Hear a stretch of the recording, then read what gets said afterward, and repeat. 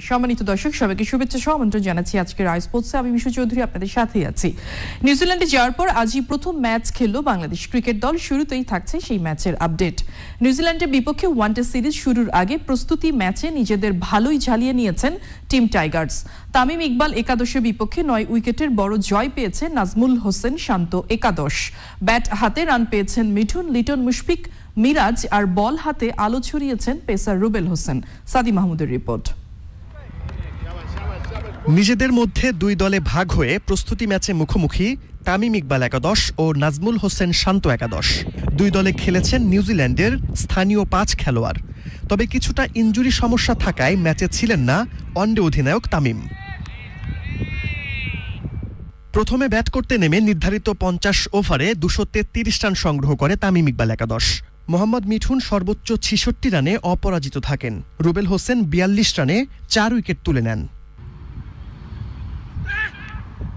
জবাবে ব্যাট করতে নেমে খুব সহজেই লক্ষ্যে পৌঁছে যায় নাজমুল হোসেন শান্ত একাদশ।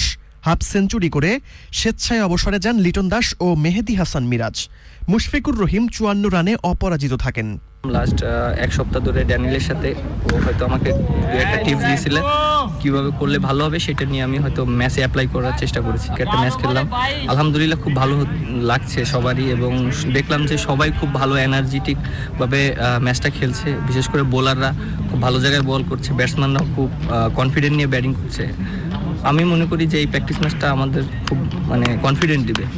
হাঁটুর চোটের কারণে এই ম্যাচ খেলতে পারেননি অলরাউন্ডার মোসাদ্দেক হোসেন সৈকত। তামিম না খেললেও তার চোট গুরুতর নয় বলে জানিয়েছে টিম ম্যানেজমেন্ট। এই ম্যাচ দিয়েই শেষ হয়েছে কুইন্সটাউনের ক্যাম্প। বুধবার দল যাবে প্রথম অন্ডের ভেনু ডুনেডিনে। Sadi Mahmud Channel I.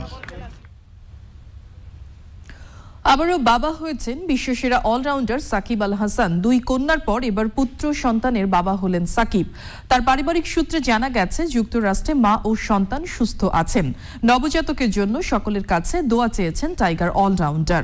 এর আগে বছরের প্রথম দিনই সাকিব আল হাসান সামাজিক যোগাযোগ মাধ্যমে তৃতীয় সন্তানের জন্মের খবর জানিয়েছিলেন। সন্তান সম্ভবা স্ত্রীর পাশে থাকার জন্যই বাংলাদেশ দলের চলতি নিউজিল্যান্ড সফরে যাননি সাকিব। বাইশে ফেব্রুয়ারি তিনি যুক্তরাষ্ট্র যুক্তরাষ্ট্রে যান এবারে ফুটবলের খবর।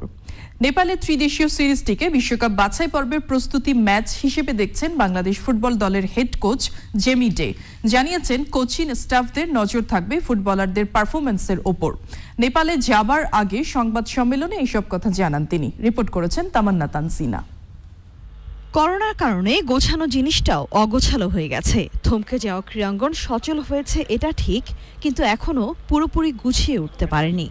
বিশেষ করে উপমহাদেশের ফুটবল। ধীরে ধীরে আন্তর্জাতিক ম্যাচ আয়োজনের উদ্যোগ নেওয়া হচ্ছে। এরই ধারাবাহিকতায় নেপালে বাংলাদেশ এবং কিরগিজস্তানকে নিয়ে আয়োজন করা হচ্ছে ত্রিদেশীয় ফুটবল টুর্নামেন্ট। বাংলাদেশে যদিও করোনা আবারও বাড়ছে, তবে কোভিড প্রটোকল নিয়ে খুব একটা জটিলতা রাখেনি নেপাল। হয়তো ম্যাচ আয়োজনটাই মূল লক্ষ্য। আঠারোই মার্চ নেপালে যাবে বাংলাদেশ। অধিনায়ক জামাল ভুঁইয়া কলকাতায়। তাই সফর নিয়ে প্রস্তুতি এবং পরিকল্পনার কথা জানিয়েছেন দলের কোচিং স্টাফরা। আপাতত ছেলেদের ফিটনেসের দিকেই বেশি লক্ষ্য রাখা হচ্ছে। আশা করছি এক সপ্তাহের মধ্যে সবার ফিটনেস ঠিকঠাক হয়ে যাবে। এই ট্যুরের চেয়ে বিশ্বকাপের তিনটি ম্যাচ আমার কাছে বেশি গুরুত্বপূর্ণ। এই দুই ম্যাচে অবশ্যই প্লেয়ারদের পারফরমেন্সের দিকেই দৃষ্টি থাকবে কারণ বিশ্ব এই ফুটবলের চেয়ে বিশ্বকাপকেই বেশি গুরুত্ব দেয়। তেইশে মার্চ কিরগিজস্তানের সাথে এবং সাতাশে মার্চ নেপালের সাথে ম্যাচ খেলবে বাংলাদেশ। টেবিল টপ হলে উনত্রিশ তারিখ ফাইনালেও খেলার সুযোগ হবে। আমার ফোকাস একদমই ট্রফিতে নেই। যদি ট্রফি জিতে যাই সেটা হবে অসাধারণ কিছু। ছয় মাস আগেও আমরা ট্রফি জিতেছি। কিন্তু সেটা নিয়ে কেউ ভাবেনি কিংবা মনেও রাখেনি। আমরা তেইশ জন প্লেয়ারকে অভিজ্ঞ করে তোলার চেষ্টা করছি। আমার কাছে ভালো মিডফিল্ডার আছে ডিফেন্ডার আছে। আমি তাদের তৈরি করেই বিশ্বকাপ বাছাই পর্বে মাঠে নামতে চাই। কলকাতা থেকে নেপালের ভিসার জন্য আবেদন করেছেন জামাল ভুঁইয়া। যদি না পান, তাহলে ঢাকায় এসে ভিসা নিয়ে নেপালে যাবেন বাংলাদেশ অধিনায়ক। Tamanna Tanzina Channel I, Dhaka. দর্শক এই ছিল আজকের রায় স্পোর্টসে